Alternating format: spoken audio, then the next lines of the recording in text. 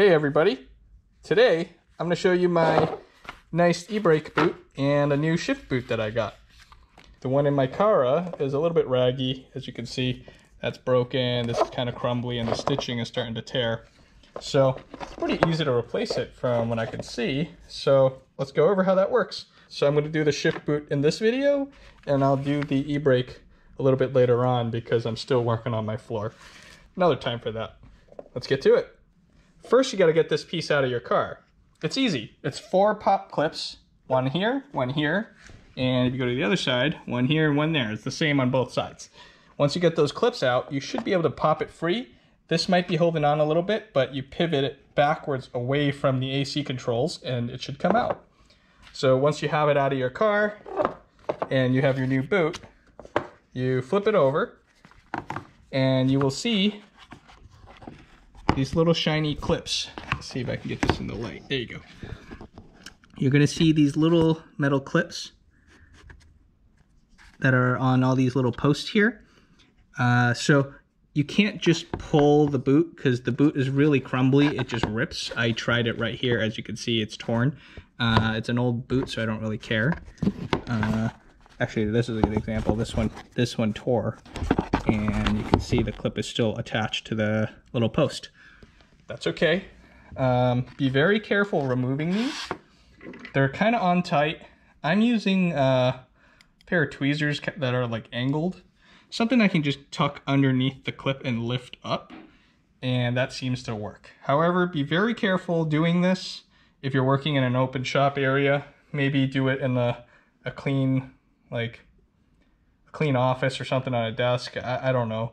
Because what happened is I did launch one of these and it's forever lost. I know it went that way. I'll probably search around over there and hope that I can see it on the stupid floor pattern I decided to get. It looks real nice, but when you drop something on the floor, you'll never find it. I will show you how one of these come off and hopefully I won't send it flying now that I know. I tried doing this underneath the boot to lift the entire thing out at the same time. That didn't work. I'm gonna try just getting the clip, sliding this underneath.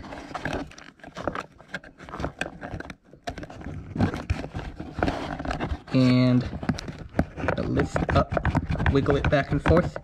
You can see that it's starting to come up. There it is. Easy does it now. There we go. The clip fell off.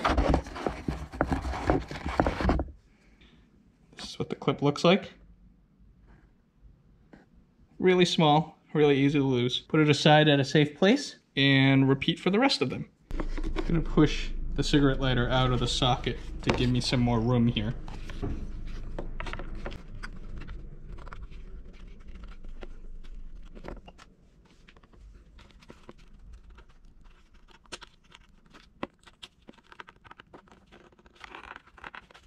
a little trick I noticed was when you get this in the shaft, if you can just tilt it a little bit like that, turn it on its side, um, that must like bend the little internal tab or something and it loosens it. It comes up a lot easier.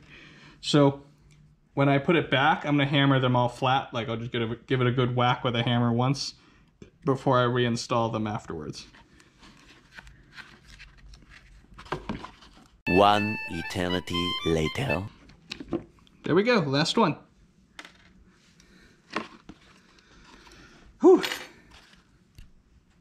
So the boot should just come off now. Look at that, simple. You're gonna see all these posts here. On your new shift boot, you should have all these similar holes that are around the leather here. And you just put this one back through the hole like this one. Take the new boot, line it up properly. There's three holes right here. Goes at the front three posts. Put the boot through, and put these into the hole. Like so.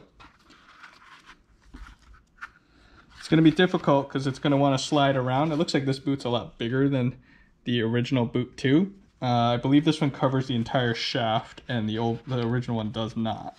So it's a little bit trickier to work with, but take take your time. You can you can help yourself by putting the little clips in too, and that'll help hold the boot down.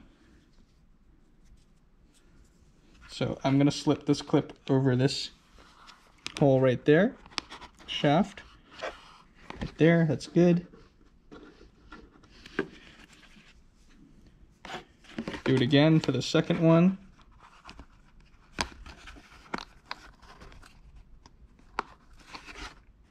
Okay. That's two. Now you can see the boot doesn't want to come in and out anymore. Uh, don't push it down all the way yet. You don't know if you need to loosen them to stretch this or something because it looks like my holes don't exactly line up. But let's find out. Stretch it. Stretch it. Okay. Put more clips on. Since I'm missing some clips, I'm to go find them, but I'm to put them on the looser sides first. So, there's that one. And right here is another hole. Interesting, I don't have a hole here. So I'm gonna have to make my own hole for this one. But let's work on this first. Put this here, push the clips back in. Now that all of them are in, you could just push them down to tighten it.